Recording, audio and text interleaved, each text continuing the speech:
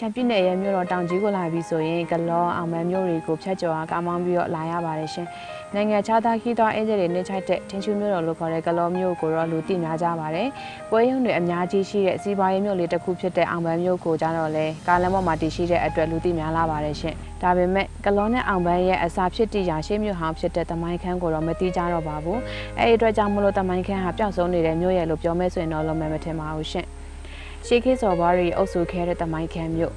အောင်မန်းမြို့ကိုဖြစ်တည်စေခဲ့တဲ့တမိုင်းခန်းမြို့အခုတော့ကားလမ်းကနေ10မိနစ်လောက်ပဲဝင်ရတဲ့နေရာလေးမှာတမိုင်းခန်းရွာလေးအဖြစ်သာရှိနေတော့တဲ့အတွက်ဒီတမိုင်းခန်းမြို့ဟောင်းနေရာဟာကြောက်လို့နေပါရှိနေပါပြီရှင်ရှေးစစ်ဒီအဟောင်းတွေအများကြီးရှိနေတဲ့တမိုင်းခန်းမြို့ဟောင်းနေရာရှေးခေတ်စော်ဘွားတွေနေထိုင်ခဲ့တဲ့စီကားခဲ့တဲ့တမိုင်းခန်းမြို့ဟောင်းနေရာလေးရဆိုရင်အခုအချိန်မှာတော့အေချမ်းလာတဲ့ရာသီဥတုရှိတဲ့ချမ်းပြည်နယ်မှာအေချမ်းစွာတည်ရှိနေပါတော့တယ်ရှင်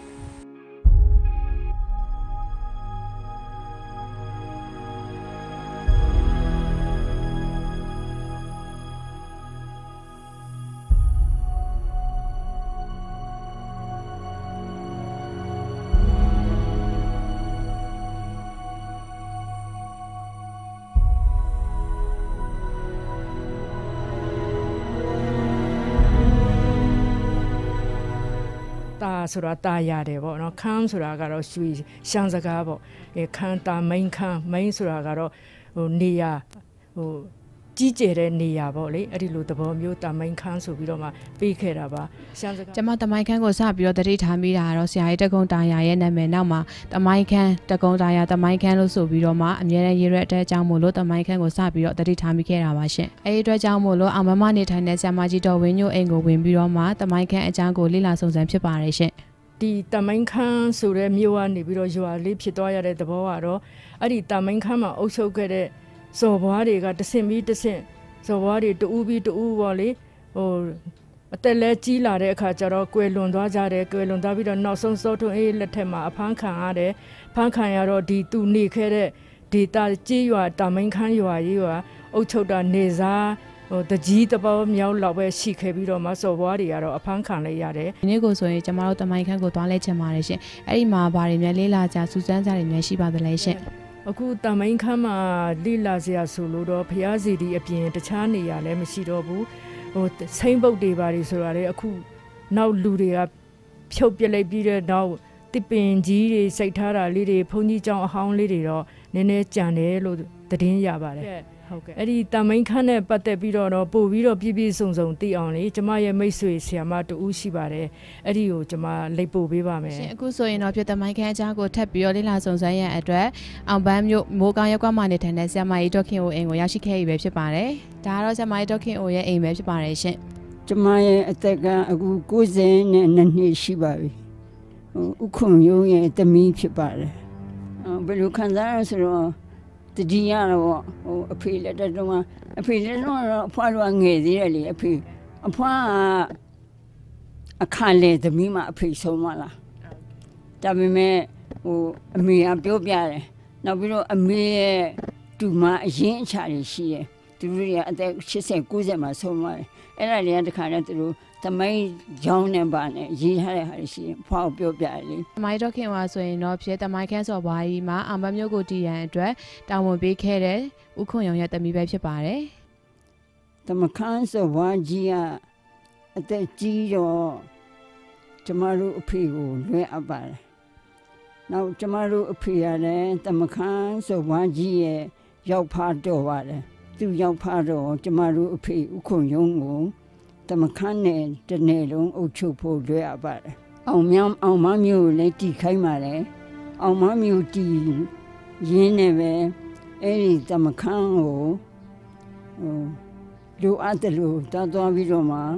အုပ်ချုပ်ပေးရပါတယ်အရင်တော့မြို့ကြီးဒီအောင်မလို့ပဲပကံဆိုင်နေအထဲဆိုင်နေကလားဆိုင်နေတူးဆိုင်နေရှိတယ်မိသေးတယ်နောက်ပြီးတော့တနေ့တစ်ချိန် အဲ့ဒီပွေးလားဆိုဘွားလက်ထက်မှာအဲ့ဒီသမခမ်းမှာ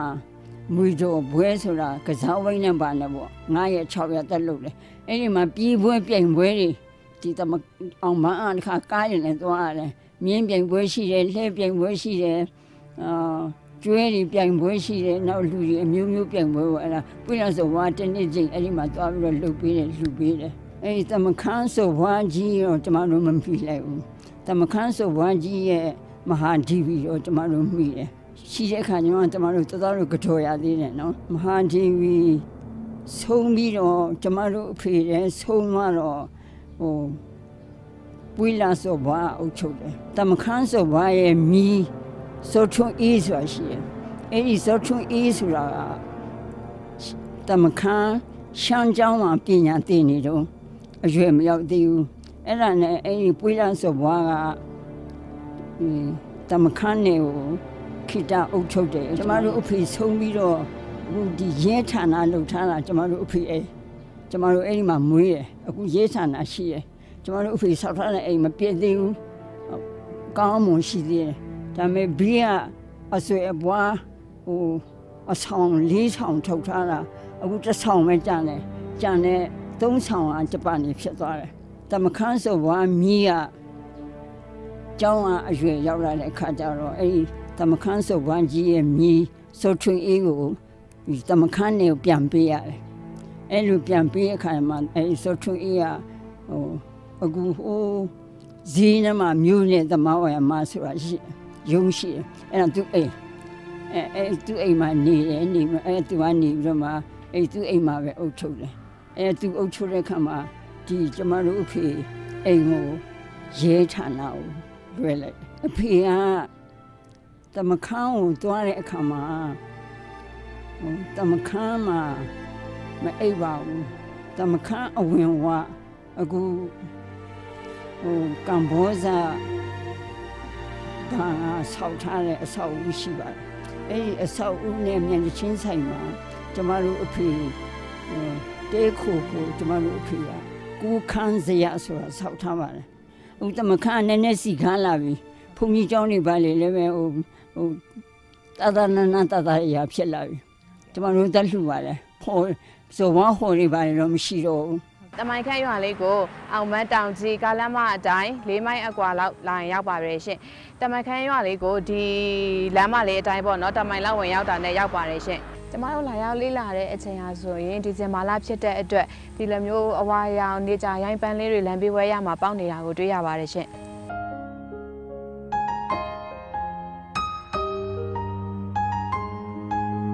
အမိုင်ခန့်ရွာရဲ့လမ်းဘေးတနေရာမှာဆိုရင်ဒီလိုမျိုးခေါ်ရခါအခင်းကြီးကိုတွေ့ရပါတယ်ရှင်။ရှမ်းပြည်နယ်ဟာအေးတဲ့အတွက်ဒီလိုမျိုးခေါ်ရခါတွေဟာဖြစ်ထွန်းပါတယ်။အဲ့ဒီအတွက်ကြောင့်မို့လို့တမိုင်ခန့်ရွာသူရွာသားတွေဟာခေါ်ရခါကိုစီးပွားဖြစ်စိတ်ထိုးစိတ်ပြိုကြပါတယ်ရှင်။ ကျမတို့လာရောက်တဲ့အချိန်ဟာဒီဇင်ဘာလဖြစ်တဲ့အတွက်ဒီတမိုင်ခန့်ရွာကကော်ရခါခင်းတွေဟာအများဆုံးထွက်တဲ့အချိန်လို့သိရပါတယ်ရှင်ဒီကော်ရခါသီးလေးတွေကတော့ဒီခြံကနေထွက်တဲ့ကော်ရခါသီးလေးတွေပါဒီကော်ရခါသီးလေးတွေဟာဆိုရင်လည်းသူတို့အောင်ပန်းကပွဲရုံတိုင်းတွေကိုပို့မဲ့ကော်ရခါသီးလေးတွေပဲဖြစ်ပါတယ်ရှင်အောင်မမျိုးဟာဆိုရင်ဒီသူ့ရဲ့မြို့ပတ်ဝန်းကျင်ကရှိတဲ့ရွာလေးတွေကနေထွက်တဲ့တီးနှံလေးတွေကိုဒိုင်းအဖြစ်ယူတဲ့မြို့တစ်မြို့ဖြစ်ပါတယ်ရှင်ဒီတအိတ်ကိုအချိန်90လောက်ရှိတယ်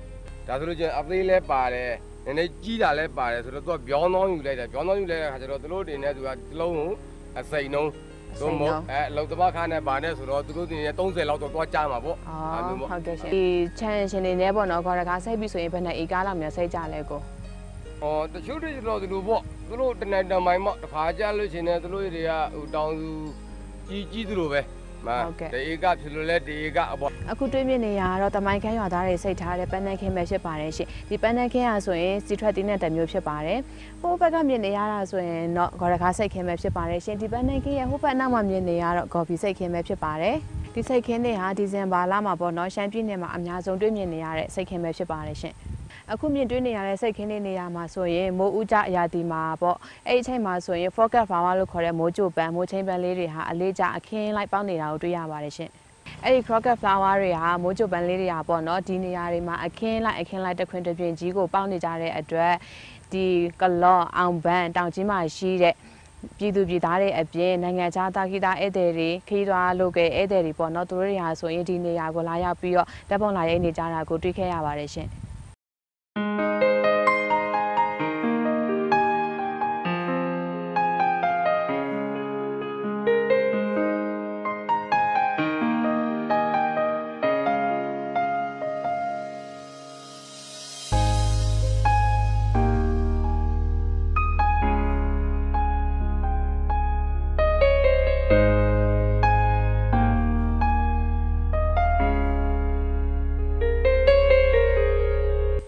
မည်စောသိန်းလှရွှေပါဖြတ်ပေါ်မျိုးကပါ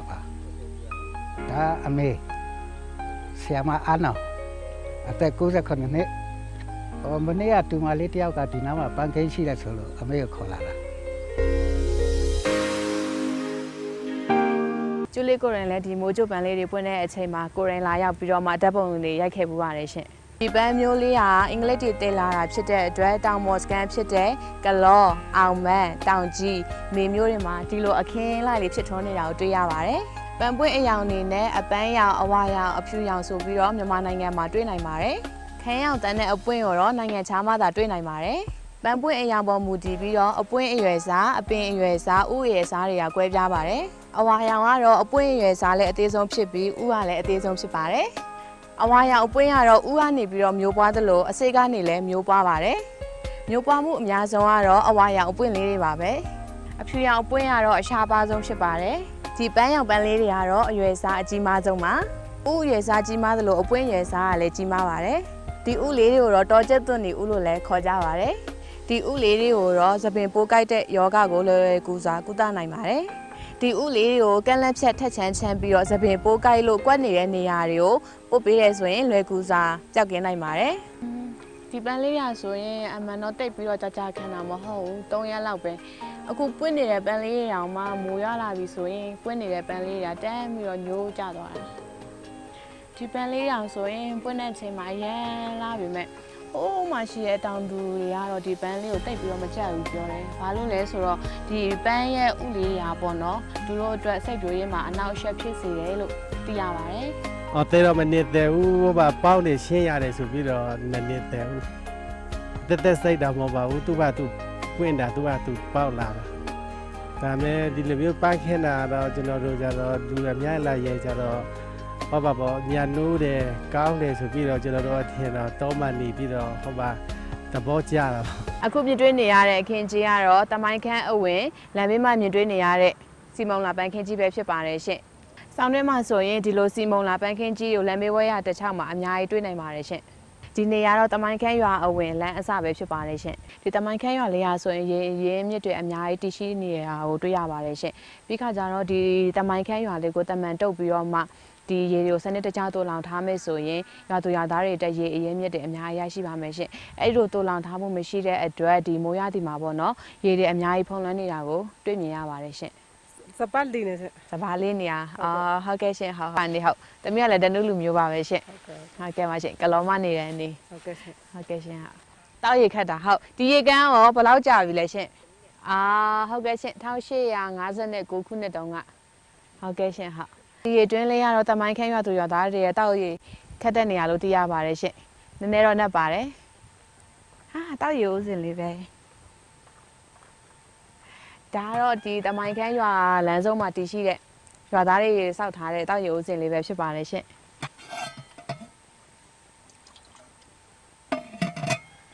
ဟွန်းအေးနေရပဲဒီရွာဟာမြို့ဟောင်းကိုတိစောက်ထားတာဖြစ်တဲ့အတွက်လမ်းလေးဟာလည်းစနစ်တကျတိစောက်ထားတာကိုတွေ့ရပါတယ်ရှင်။လမ်းတောင်းတွေမှာလည်းလမ်းညွှန်ဆိုင်ပုံလေးတွေကိုရေးထားတာတွေ့ရပါတယ်ရှင်။အော်ဒီလမ်းလေးကိုတော့မြင်းပြိုင်လမ်းလို့ရေးထားတာတွေ့ရပါတယ်။ ပို့ဖက်လမ်းတွေကတော့ဆက်ထွန်းလမ်းနောက်ပြီးခါကျတော့စော်ဘွားလမ်းဟော်ကုန်းလမ်းတွေဆက်ပြီးတော့မှရှိတယ်လို့သိရပါတယ်ရှင်။ဒီမှာပေါ့နော်အင်ချီဘယ်လောက်လောက်ရှိလဲဗျတရားငါဆက်စင်မြောက်150ဟုတ်ကဲ့အဘတို့ရောဘာတွေလောက်ကင်စားတော့ကြလဲဟောဒါပိန်းဦးလေဟုတ်ကဲ့ခရခရမ်းသီးလေတပြည့်မှာချင်းစိမ့်လေကျင်းနေအာဟုတ်ကဲ့သားလေဟုတ်ကဲ့ဆောင်းဝဲတဲ့ဟုတ်ကဲ့ပါအခုကျတော့အဘရာထဲကနေပြန်လာတာပေါ့ဟုတ်တယ်လား ဟုတ်ကဲ့ပါရှင်တမခန်းဥဝင်မှာမှာဖျားတည်ထားတယ်ကျမအခုဆိုရင်မွေတော်ချောင်းအဝင်ကိုရောက်ရှိနေပါရဲ့ရှင်အဲဟိုမှာရေတွင်းဟောင်းတစ်ခုလေးပဲတာကြည့်လိုက်အောင်မယ်ရှင်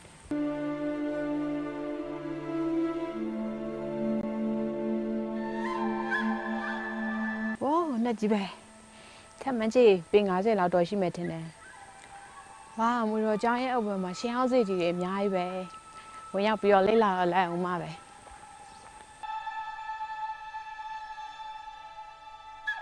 ဒီနေရာကတော့တမိုင်းခန်းရွာမွေတော်ကျောင်းအဝိမာတည်ရှိတဲ့ဇေဒီပထိုးအဟောင်းတွေကိုတစုတဝေးတွေ့မြင်ရတဲ့နေရာပဲဖြစ်ပါတယ်ရှင်ဒီနေရာဆိုရင်တမိုင်းခန်းရွာမှာတည်ရှိတဲ့ကျောင်းလေးကျောင်းရဲ့တောင်ကျောင်းနေရာဟောင်းတစ်ခုဖြစ်ပါတယ်ရှင်ဒီဇေဒီပထိုးတွေရဲ့အနောက်မှာဆိုရင်ဖျားစင်းတော်တွေရဲ့ဥကောင်းတော်တွေပြုတ်ကျနေတာကိုလည်းတွေ့ရပါတယ်ရှင်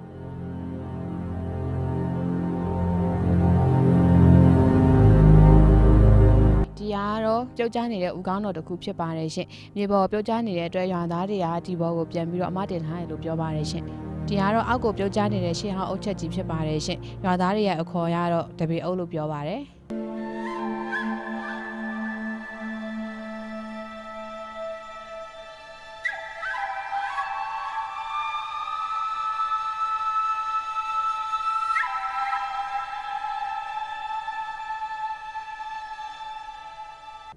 နောက်ပြီးတော့အဲ့ဒီအထက်နဲ့ကလမ်းကောင်းသွားပြီအဲ့ဒီကသွားလို့ရှိရင်မွေတော့ကျောင်းရှိရစီတယ်အဲ့ဒီမွေတော့ကျောင်းမှာကျောင်းကြီးကျောင်းကလည်းတာရတယ်ဖရတွေလည်းအခုဝိုင်းပြီးတော့ပြင်ကြတယ်ကောင်းပါပြီခန်းရွာရဲ့ကုန်းသာရွာရဲ့ဒီကြောင်ကိုကွယ်တော့နာရွာချိတယ်နာရွာချိတယ်နာရွာတောင်ဖက်တဲ့ချမ်းကျတော့တမန်ခန်းရွာမြောက်ဖက်တဲ့ချမ်းကျတော့ကုန်းသာရွာနာရွာမှာတော့အင်ချီတော့နာရတစ်ဆယ်လောက်တော့ရှိတယ်တမန်ခန်းရွာတော့သူတို့လောက်သားတယ်တော့အလူတွေဂျင်းတွေ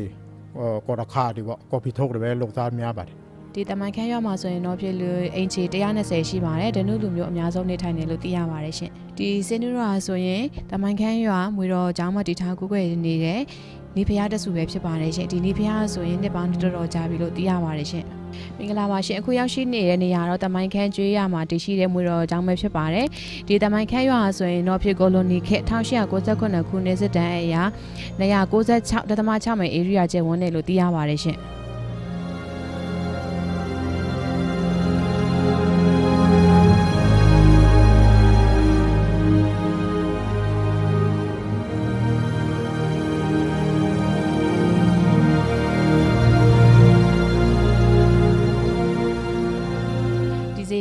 တော့တမိုင်းခမ်းမွေတော်ကျောင်းမှာတည်ရှိတဲ့ရှေးဟောင်းစီတီဖျားတစုပဲဖြစ်ပါတယ်ရှင်ဒီဇေဒီဟာနှစ်ပေါင်းရကျော်နေပြီဖြစ်တဲ့အတွက်ပြိုကျလို့နေပါရှိနေပါပြီရှင်ဒီဇေဒီကိုတပေအုပ်တွေနဲ့တိဆောက်ထားတာဖြစ်ပါတယ်အလျားတပေရှိတဲ့အုပ်တွေနဲ့ပါဒီဇေဒီကိုအလူရှင်ပေါ်လာလို့ပြန်လဲတိဆောက်မယ်ဆိုရင်ရှေးဟောင်းလက်ရမပြတ်ပြန်လဲတိဆောက်ပေးစေလိုပါတယ်ရှင်ဒီဇေဒီဟာဆိုရင်လွန်ခဲ့တဲ့10နှစ်လောက်ကဆိုရင်အပြိုအပြက်တွေလို့သိရပါတယ်ရှင်ဒီနောက်ပိုင်းမှာဆိုရင်တော့ဒီဇေဒီတွေကိုရွာသူရွာသားတွေကနေပြီးတော့မှပြန်လဲပြုပြင်ထားတယ်လို့သိရပါတယ်ရှင်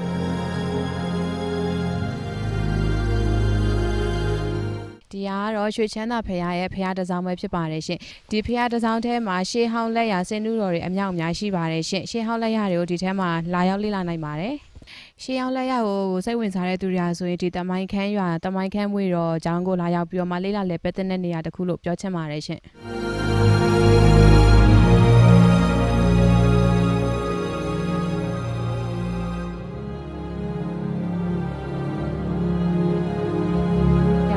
တော့ရှေးဟောင်းရွှေချမ်းသာဖရာဖြစ်ပါတယ်ရှင်ဒီအထမ်းမှာဆိုရင်တော့ရွှေချမ်းသာစင်နူးတော်ကိုတည်ထားကိုကိုရတယ်လို့သိရပါတယ်ရှင်ဒီစင်နူးတော်ဟာဆိုရင်နှစ်ပေါင်းရာကျော်နေပြီလို့လည်းသိရပါတယ်ရှင်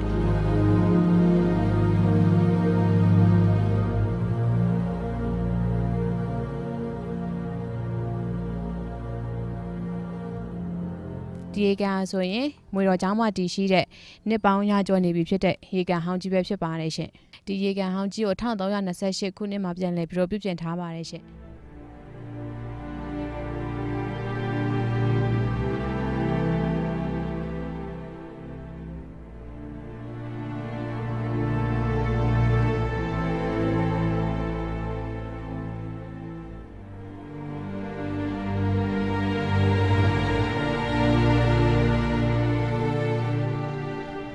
ဒီဇေဒီဟာတမိုင်းခန်းစော်ဘွားကြီးရှိစဉ်တုန်းကတစားမုံလာပြည့်နေ့တိုင်းတစားမုံဖျားပွဲလုပ်တဲ့ဇေဒီလို့သိရပါတယ်ရှင်ဒီဇေဒီကိုပြန်လည်ပြုပြင်ထားတာဆိုရင်လွန်ခဲ့တဲ့နှစ်နှစ်ကလို့သိရပါတယ်ရှင်တမိုင်းခန်းကိုရောက်ပြီဆိုရင်ဒီဇေဒီကိုလာရောက်လေ့လာဖို့ဖိတ်ခေါ်ပါတယ်ရှင်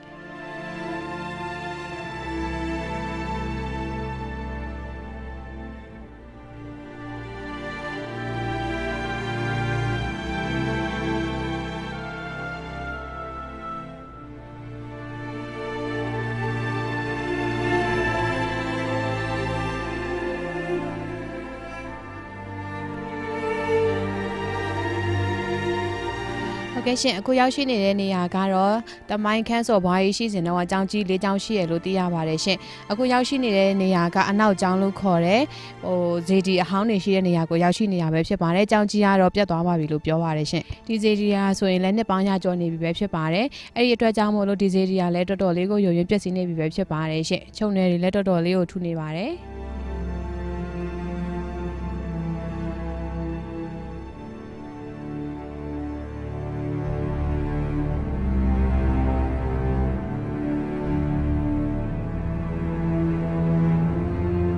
တွေ့နေရတဲ့အတိုင်းပါပဲရှင်ဒီရှေးဟောင်းစေးတီရာဆိုရင်ရှုံတွေတွေနဲ့တော်တော်လေးဟိုမှဟိုဟာပိတ်နေပါတယ်ရှင်။ရာသီဥတုတန်တွေရဲ့နှစ်ကာလကြာနေတဲ့အတွက်ကြောင့်မလို့ဒီစေးတီရာဆိုရင်တော်တော်လေးကိုပျက်စီးနေပါပြီ။အဲဒီအတွက်ကြောင့်မို့လို့ဒီရှေးဟောင်းလက်ရာတွေကိုလေ့လာခြင်းနဲ့ဆိုရင်တမိုင်းခန်းရွာမှာတည်ရှိတဲ့ဒီရှေးဟောင်းစေတီပထိုးတွေကိုလာရောက်ပြီးတော့လေ့လာနိုင်ပါတယ်ရှင်။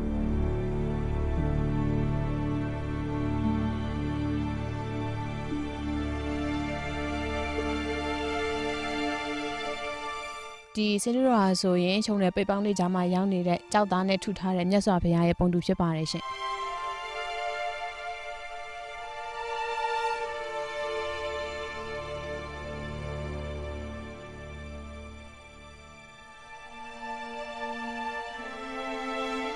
သမခန့်တော့ဟိုပြန်လဲပြီးတော့ပြုပြင်မုံမှန်စီချင်တာပေါ့နော်တာရအောင်အရင်ကမြူကြီးတစ်မျိုးဖြစ်ခဲ့တယ် ဒီနေတစ်နေလုံးကိုအုပ်ချုပ်စီမင်းစီမံပေးခဲ့တယ်နော်ဟိုဟိုတာစီဝက်ဖြူကြီးအချိအုပ်ချုပ်ခဲ့တယ်ဘယ်လိုလုပ်ဟိုဒီမီးချမ်းလန်းနေဖောက်တာလည်းပဲဟိုအဖေကဦးစီးပြီးတော့ဖောက်တာပေါ့လေအဲ့လိုမျိုးပေါ့အဲ့တော့အဲ့လောက်ဒီနေကြီးကိုတလောက်ကြီးကျယ်ခမ်းနားတဲ့မြူကြီးဟာ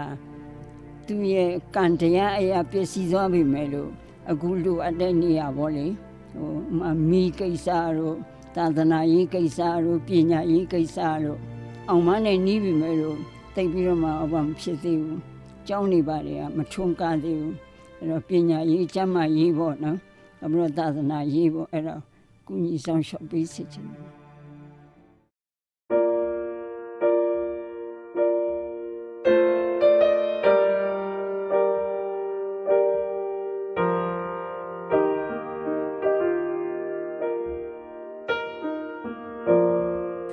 ပါရှင်ဒီတမိုင်းခန်းရုပ်ရှင်မတန်လေးကိုလာရောက်ကြည့်ရှုပြီးသွားပြီဆိုရင်ဒီတမိုင်းခန်းရွာလေးကိုလာရောက်ပြီးတော့မှလေ့လာကြည့်ချင်ပါတယ်လက်ပဲကြည့်ချင်ပါတယ်။ဘာဖြစ်လို့လဲဆိုရင်ဒီတမိုင်းခန်းဆိုတဲ့ရွာလေးဟာအရင်ကစော်ဘွားတွေနေထိုင်ခဲ့တဲ့မြို့ဟောင်းတဲ့နေရာဖြစ်တဲ့အတွက်ကြောင့်မို့လို့သူတို့တွေရဲ့နေထိုင်မှုပုံစံ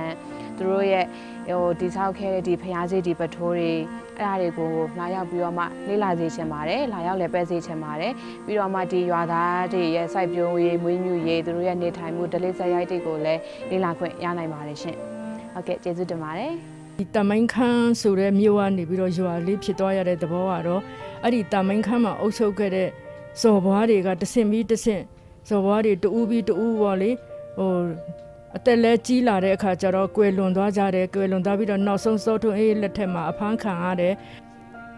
မဟာဒေဝီလေးအဲမိဖုရားလေးပေါ့နော်မိဖုရားလေးနဲ့ဟာကိုရန်မျိုးသမီးလေးပေါ့နော်မိမိရရဟိုပြည်ပြည်စုံစုံဟိုကုညီဆောင်ရှောက်ပေးစီကြပါကျေးဇူးအများကြီးတင်ပါတယ်